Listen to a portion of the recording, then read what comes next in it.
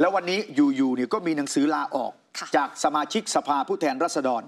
ของนายชัยวุฒนาคมานุสรณ์นะหนังสือลาออกนี่เป็นแบบนี้นะฮะหนังสือลาออกจากสมาชิกสภาผู้แทนราษฎรนี่มีลายเซ็นเรียบร้อย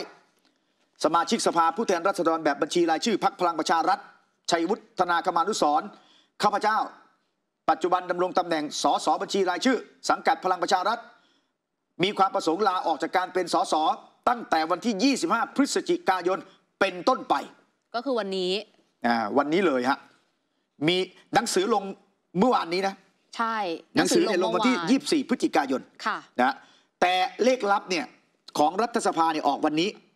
ข้างบนเห็นไหมเลขลับอ๋อบนขวาเขาดูกันอย่างนี้ค่ะอ่าเลขที่รับวันที่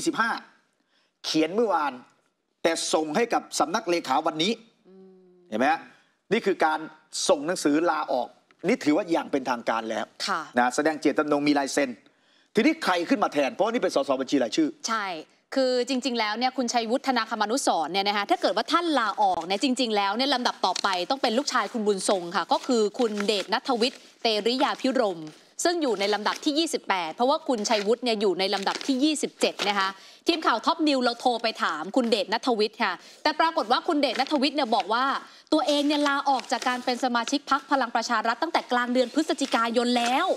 คือลาออกไปแล้วค่ะ แต่ว่าอนาคตทางการเมืองเนี่ยยังไม่ได้ตัดสินใจนะคะ ว่าจะไปร่วมงานกับพรรคไหน เพราะฉะนั้น คนที่จะมาเป็นสสบัญชีรายชื่อต่อจากคุณชัยวุฒิก็จะต้องเป็นลำดับที่ 29 เลื่อนขึ้นมา ก็คือน้องสาวของคุณวิรัตค่ะ คุณวลัยพรรัตนเศรษฐ์ก็จะเลื่อนขึ้นมาเป็นสสบัญชีรายชื่อนะคะ ซึ่งการลาออกจากการเป็นสสของคุณชัยวุฒิก็มีแนวโน้มว่าอาจจะตามพลเอกประยุทธ์ ถ้าพลเอกประยุทธ์ไปอยู่รวมไทยสร้างชาติค่ะ อืมลาออกจากการเป็นสสแต่ยังเป็นรัฐมนตรีอยู่ค่ะ แล้วก็ยังไม่ได้ลาออกจากการเป็นสมาชิกพักพลังประชารัฐนี่เห็นไหมต้องออกจากสมาชิกพักพลังประชารัฐ ถ้าเป็นสสก็ต้องหลุดเลยไหมคะ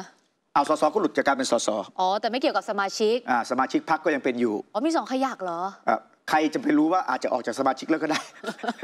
อันนี้อันนี้ไม่ทราบ มันลูกคุณบุญทรงไงบอกออกอ่าตั้งแต่กลางเดือนแล้วค่ะ เพราะฉะนั้นนี่คืออีกสัญญาณการเมืองหนึ่งที่น่าสนใจค่ะนะฮะคือคุณชัยวุฒิเนี่ยมีข่าวมีสองกระแสหนึ่ง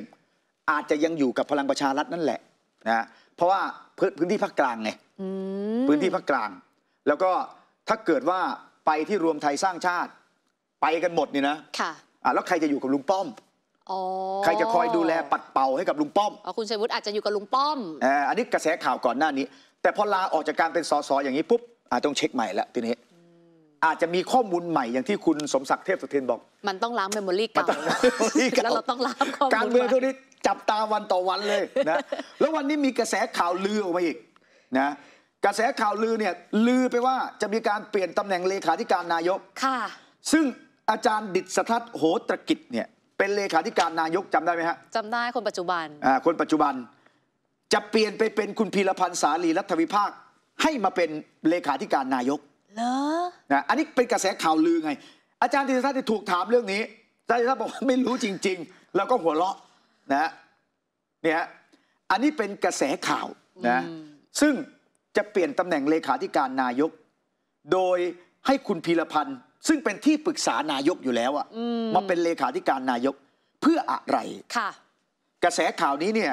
ไม่รู้มาจากไหนนะนะอันนี้ต้องรอพิจารณา แล้วก็มีกระแสข่าวอีกว่า นายกกำลังพิจารณาเรื่องปรับคณะรัฐมนตรี ปรับคณะรัฐมนตรีคาดว่าอาจจะมีการปรับถึง 8 เก้าอี้ เหรอ แล้วเห็นบอกว่าจะปรับโฆษกคนใหม่ด้วย ไม่เอาคุณอนุชาแล้ว เอาเหรอเออ แต่ยังไม่ได้บอกว่าเป็นใครมาแทนนะคะ อืม อันนี้เป็นรายงานข่าวค่ะ นะซึ่งทั้งหมดเนี่ยเป็นข่าวลือหมดเลยนะ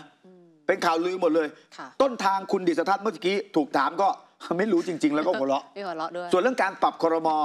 ก่อนหน้านี้มีอยู่ก็คือประชาธิปัตย์น่ะค่ะ ที่ยอมรับว่าได้เสนอท่านนายกไปแล้ว อืม ก็คือแทนคุณนิพนธ์ค่ะ ก็คือคุณนริศขำนุรักษ์อ่าแต่คุณจุลินทร์ก็บอกว่าเนี่ยหลังเอเปกก็น่าจะถึงเวลาที่เหมาะสม ก็แล้วแต่ท่านนายกรัฐมนตรีค่ะ ส่วนพรรคอื่นเนี่ยเขาจะปรับเขาจะเสนอไปยังไงเนี่ยอันนี้ยังไม่ปรากฏนะ ภูมิใจไทยเนี่ยไม่ปรับด้วยซ้ใช่ำข่าวก่อนหน้าเนี้ยหัวหน้าแล้วพรรคแปดพูด ตำแหน่งนี่จะมาจากไหน เออเพราะฉะนั้นข่าวลือเนี่ยอาจจะมีการปรับแต่มันจะถึง 8ตำแหน่งเลยเหรออถ้าปรับ 8ตำแหน่งนั่นคือยกเครื่องเลย ใช่ปรับใหญ่ ปรับใหญ่แล้วเตรียมดูว่าจะ การทำงานจะกระปรี้กระเป๋าขึ้นหรือเปล่าแต่มันนะโค้งสุดท้ายแล้วนะคะ อันนี้รอจับตาดูนะฮะข่าวลือนี้ค่ะนะส่วนวันนี้นายกรัฐมนตรีพลเอกประยุทธ์จันทร์โอชา วันนี้เป็นประธานพิธีมอบนโยบายขับเคลื่อน การบริหารเอ่อจัดการเลือกตั้งสมาชิกสภาเกษตรกรจังหวัดนะฮะแล้วก็สมาชิกสภาเกษตรแห่งชาติพลเอกอนุพงศ์มทหนึ่งคุณอาคมเติมพิยาภัยศิษย์รัฐมนตรีคลังร่วมงานด้วยนะฮะนี่วันนี้ก็เป็นการไปเรื่องงานสภาเกษตรนะ แล้วนายกก็พูดในระหว่างที่ไปร่วมในงานเนี่ยบางช่วงบางตอน ก็พูดถึงการแก้ปัญหาให้พี่น้องเกษตรกรนี่สินแหล่งน้ำที่ดินทำกินนะทุกอย่างยุคนี้ทำทุกเรื่องทำให้มันถูกต้องตามกฎหมายนะแล้วก็เรื่องการตลาดการเกษตรยุคใหม่ต้องคำนึงถึงการตลาดด้วย แล้วมันมีทั้งตลาดออนไลน์อย่างเงี้ยนะรัฐบาลก็เข้าไปหนุนเข้าไปเสริมนะแล้วนายกก็พูดบางช่วงบางตอนว่า ในอาเซียนเนี่ย เราเป็นหนึ่งในโอกาส เพราะตอนนี้ภูมิภาคอื่นเนี่ยความขัดแย้งสูงของเราเนี่ยสถานการณ์เนี่ยดีกว่าที่อื่น เราก็พยายามปรับเปลี่ยนเรื่องอะไรsmart farming เกษตรอัจฉริยะนะเพื่อให้เกษตรกรขายของมูลค่าสูงขึ้นนะแล้วตอนท้ายนายกนี่เตือนนะว่าเราเนี่ยควรภูมิใจ ภูมิใจที่ได้อยู่ในผืนแผ่นดินนี้ สิ่งสำคัญคือ เราต้องรักผืนแผ่นดินนี้ ที่เป็นแผ่นดินของคนไทยฮะเราควรจะภูมิใจเราควรจะดีใจที่อยู่ในแผ่นดินผืนนี้สุวรรณภูมินี่แหละครับนะวันนี้เขาเดือดร้อนหมดเดือดร้อนจากอะไรภัยพิบัติฝนตกน้ำท่วมดแผ่นดินถล่มภูเขาไฟระเบิด ของเราภูเขาไฟไม่มี แต่ระเบิดกันเอง คือความคิดไงความคิดผมไปโทษใครไม่ได้ เพราะฉะนั้นสิ่งที่สำคัญที่สุดคือจิตใจของพวกเราเราต้องรักแผ่นดินผืนนี้ ซึ่งพระกษัตริย์ทุกพระองค์ได้รักษาไว้ถึงเราวันนี้แล้วได้กำหนดแผ่นดินผืนนี้เป็นแผ่นดินของคนไทย แต่สิ่งที่สำคัญที่สุดคือรัฐบาลนี้ทำให้ทุกอย่างเนี่ยมันค่อยมันมันลดลงไปบ้าง ส่งของไปขั้นต้นเนี่ยไปแต่เขาไปแปรรูปวัตถุดิบของเราเนี่ยแหละกลับมาขายเราราคาแพงไงใช่ไหมวันนี้ก็เป็นสิ่งที่เราต้องดูแลกันนะครับ แล้วเราก็พุ่งเป้าไปสู่ที่ผู้ที่มีรายได้น้อย เป็นหลักโดยเฉพาะเกษตรกรนะในเรื่องของสวัสดิการประชาชนเราก็ดูพุ่งเป้าหมายในเรื่องของรายได้ของท่านเป็นหลักด้วยนะครับ เพราะว่ามัน เราต้องแก้แก้ความยากจนแบบพุ่งเป้าอะเนาะวันนี้ก็ต้องดูกันต้องช่วยกันนะ ผมรู้ว่าทุกคนก็อยากได้หมดอะแต่สิ่งที่ผมต้องทำตอนนี้คือทำยังไง ผมจะมีรายได้สูงขึ้นทำไมรัฐบาลจะมี GDP สูงขึ้น ซึ่งก็มาจากหลายหลากหลายดูกัน ทั้งลงทุน ทั้งเกษตร ทั้งอุตสาหกรรม ทั้งเทคโนโลยีสมัยใหม่ วันนี้เรากำลังกำลังเป็นเป้าหมายของโลกใบนี้อยู่ ผมไหว้พระ ผมขอแม่พระธรณีทุกวัน แม่พระคงคาทุกวันพระยามที่ว่าทุกวันให้ทุกอย่างประเทศไทยเดินหน้าไปให้ได้แล้วกันนั่นคือสิ่งที่ทำให้จิตใจผมอยู่ถึงวันนี้ได้นะ